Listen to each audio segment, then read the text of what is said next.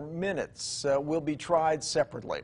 Derek Chauvin will stand alone, according to a judge who cited the limitations of physical space with COVID 19 restrictions already in place.